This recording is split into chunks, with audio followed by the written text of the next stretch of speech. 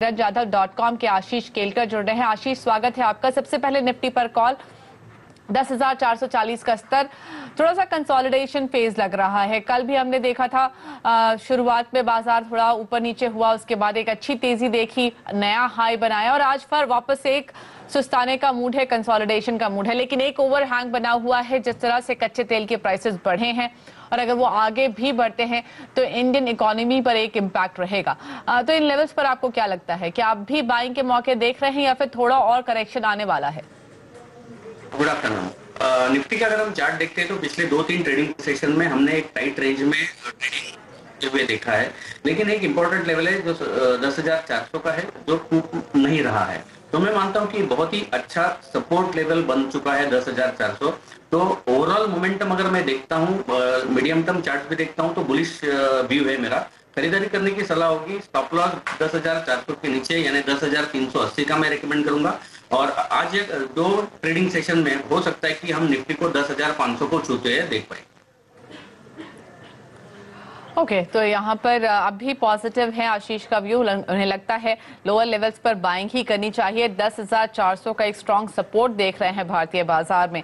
Bank Nifty वहाँ पर क्या कॉल है? आ, एक तिहाई प्रतिशत का दबाव यहाँ दिखाई दे रहा है। यहाँ पर भी लगता है बाय करके चलना चाहिए। और क्या आपको इस वक्त पीएसयू बैंक ज़्यादा पसंद आ रहे हैं compare to private banks okay okay, पहले बैंक निफ्टी के बारे में अगर हम बात करते हैं तो वहीं पे भी जैसे निफ्टी का रुझान है वहीं पे वैसा ही रुझान मैं बैंक निफ्टी के ऊपर देख रहा हूँ। अगर बैंक निफ्टी का वीकली चार्ट देखते तो एक असेंडिंग ट्रायंगल पैटर्न को पैटर्न फॉर्मेशन को ब्रेकआउट मिला है जो बहुत ही बुलिश इंप्लीकेशन रखता है। तो फ़िलहाल मैं मेरा व्यू बुलिश ही रखना चाहूँगा। पच्चीस हज़ार चार सौ का एक लेवल है जो बहुत ही इंपॉर्टेंट होगा मेरे लिए। उसके नीचे मैं स्टॉप लॉस रखूँगा। और मैं मानता हूँ कि अगले तीन दो तीन या चार ट्रेडिंग सेशन में हम बैंक निफ्टी को पच्चीस हज़ार सात सौ पचास को छूते हुए देख पाएँगे। Uh, मैं निजी बैंक जो है उनमें ज़्यादा प्रेफरेंस दूँगा। जैसे कि यस बैंक है इंडसेंड बैंक है उसको मैं ज़्यादा वेटेज दूँगा फ़िलहाल। Okay okay. चलिए स्टॉक स्पेसिफिक मूव्स की बात करते हैं। पहले IT space HCL TechM Infosys TCS Wipro सब में ही बहुत अच्छी बैंक दिखाई दे रही है। मोमेंटम कंटिन्यू रहने वाला है क्या आगे? डेफिनेटली मोमेंटम कंटिन्यू रहने वाला है, लेकिन जैसे आपने कुछ स्टॉक्स के नाम लिए एच सी आई टेक है इन्फोसिस है विप्रो है इनमें सब में एक स्टॉक है जो मेरे रडार पर है, वो है टीसीएस टीसीएस का अगर हम चार्ट देखते हैं तो अच्छा खासा वॉल्यूम के साथ ये स्टॉक ऊपर जाने की कोशिश कर रहा है तो मेरी खरीदारी करने की यहाँ पे सलाह होगी। स्टॉप लॉस के तौर पर 2690 है, और मैं मानता हूँ कि अगले 15 दिन में ये पंद्रह दिन में मैं मानता हूँ कि करीबन उनतीस का टारगेट ये स्टॉक हम देख सकते हैं। ओके स्टॉक स्पेसिफिक मूव्स की बात करते हैं। आज एक फार्मा स्पेस का काउंटर जो कि फोकस पे है वो है एस्ट्राजेनेका यहाँ पर कंपनी का मुनाफे में मल्टीफोल्ड जंप देखने को मिला है और ये twenty seven point eight three eight crore पर निकल कर आया है जबकि पिछले साल इसी तिमाही में ये करीब अस्सी लाख का था। तो इस वजह से आप देख सकते हैं स्टॉक बहुत ही अच्छा मूव देता हुआ साढ़े ग्यारह परसेंट का मूव है इस वक्त। आ, क्या करना चाहिए स्टॉक में? रेवेन्यू पर भी अच्छी बढ़त देखने को मिली है लेकिन क्या करना चाहिए इस वक्त? एस्ट्राजेनेका में क्या लगता है अब भी खरीदने के मौके हैं? डेफिनेटली अभी भी खरीदने के मौके हैं। अभी देखते हैं तो करीबन 1220 के लेवल पे ये स्टॉक ट्रेड करता हुआ दिखाई दे रहा है। जिस तरह का फॉर्मेशन हमने इस पर्टिकुलर स्टॉक में देखा है, मैं मानता हूँ कि ये अगर मध्यम अवधि या लंबे अवधि के लिए किसी को खरीदना चाहता है तो डेफिनेटली खरीदना, खरीदी करना चाहिए। क्योंकि इसका जो medium term to long term अगले पाँच छह महीने का अगर मैं लक्ष्य देखता हूँ तो वो करीबन उन्नीस रुपया दिखाई दे रहा है चार्ट के हिसाब से। तो डेफिनेटली मैं यहाँ पे रिकमेंड करूँगा कि बाय करना चाहिए। इसके लिए जो स्टॉप लॉस मैं रिकमेंड करूँगा, थोड़ा डीप डाउन होगा, ग्यारह का होना चाहिए। ये स्टॉप लॉस जो मैं रिकमेंड कर रहा हूँ वो वीकली क्लोजिंग बेसिस पर देखना चाहिए और उन्नीस का टारगेट होगा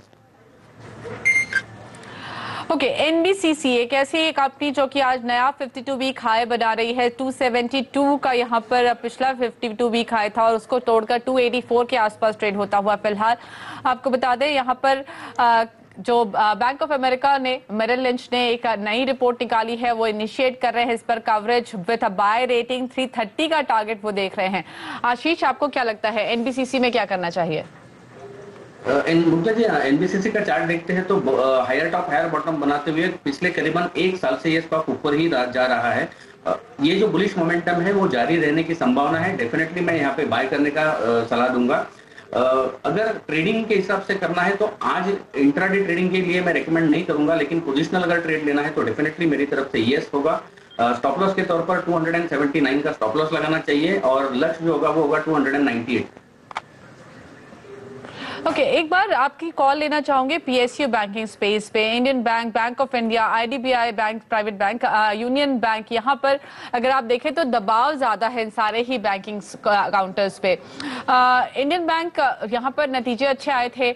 उसके साथ साथ इनमें ये एक उन कंपनियों में से है, उन बैंक्स में से है जहाँ पर जो क्रेडिट ऑफटेक है, वो बेहतर देखने को मिला है। इस one of the highest credit offtake in fact आपको इंडियन बैंक में दिखाई देगा। आज दबाव है, क्या ये मौका है खरीदने का? क्या करना चाहिए? टर्न अराउंड दिख रहा है क्या स्टॉक में? यस डेफिनेटली टर्न अराउंड दिखाई दे रहा है।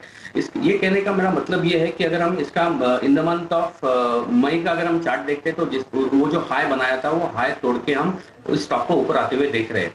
फ़िलहाल ये जो स्टॉक है करीबन 365 पे ट्रेड करता हुआ दिखाई दे रहा है। मैं अगर इसका जायजा लेता हूँ तो मैं मानता हूँ कि करीबन 415 420 के लक्ष्य इस पर्टिकुलर स्टॉक में दिखाई देने दे सकते हैं। तो यहाँ पे खरीदारी करने का एक बेहतरीन मौका है। रिस्क रिवॉर्ड रेशो भी अच्छा है। स्टॉप लॉस के तौर पर 359 का स्टॉप लॉस क्लोजिंग बेसिस पर लगाना चाहिए 415 का पहला लक्ष्य। ओके आशीष। आईसीआईसीआई सिक्योरिटीज का। लेकिन चले आगे बात करते हैं हमारे साथ किरण जाधव डॉट कॉम के आशीष केलकर जुड़े हुए हैं। आशीष आईसीआईसीआई बैंक पर एक बार कॉल ले लेती हूँ। इस वक्त करीब 0.66 परसेंट नीचे है 313 314 के आसपास बना हुआ है। आ, इस स्टॉक पर इस वक्त आपकी क्या राय है? मुद्दा जी इसका चार्ट अगर हम देखते हैं तो करीबन 270 से लेकर एक स्टॉक बहुत ही बेहतरीन प्रदर्शन करता हुआ ऊपर की तरफ़ उछला था और अच्छे खासे वॉल्यूम के साथ उछला था। अगर मैं इसका देखता हूँ तो इसमें करेक्शन एक्सपेक्टेड है, लेकिन ये इस करेक्शन में मैं चार्ट के ऊपर से ये मान सकता हूँ कि करीबन 305 के नीचे ये स्टॉक आइडियली आना नहीं चाहिए। 305 का बहुत ही अच्छा सपोर्ट है सॉरी तो जब तक 305 के ऊपर है, मेरा व्यू बुलिश रहेगा। जैसे ये स्टॉक 320 के ऊपर निकलेगा, एक फ्रेश ब्रेकआउट होगा और उस केस में इसका जो लक्ष्य रहेगा वो रहेगा करीबन 362 का। तो मैं मानता हूँ कि अभी खरीदारी करने की सलाह होगी रिस्टोरी और रेशो बेहतरीन है। 305 320 एक रेंज है, उसके ऊपर निकलता है तो बेहतरीन प्रदर्शन और देखने को मिल सकता है। ओके okay, तो ये सलाह है आईसीआईसीआई बैंक पे लेकिन आपको खबर एक बार और बता देते हैं आईसीआईसीआई सिक्योरिटीज जो कि आईसीआईसीआई बैंक का एक ब्रोकरेज आर्म है उसकी हिस्सेदारी बेचने का फैसला लिया है आईसीआईसीआई बैंक के बोर्ड ने। चलिए वापस फोकस करते हैं आज के एक्टिव काउंटर्स पर जहाँ पर आज शाम को ज़्यादा एक्शन दिखाई दे रहा है।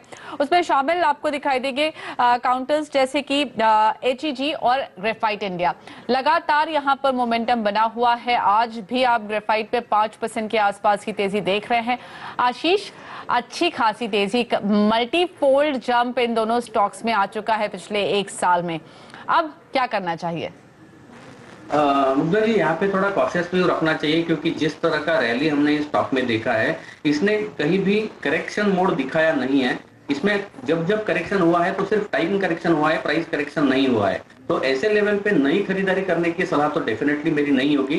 जिनके पास ये स्टॉक है, मैं उनको ये सलाह देता हूँ कि 50 परसेंट स्टॉक्स बेच के इसमें प्रॉफिट बुक करना चाहिए और 50 परसेंट जो शेयर्स उनके पास बचेंगे, उसके लिए ट्रेलिंग स्टॉप लॉस का बेहतरीन यूज़ करके प्रॉफिट को और ट्रेल कर सकते हैं।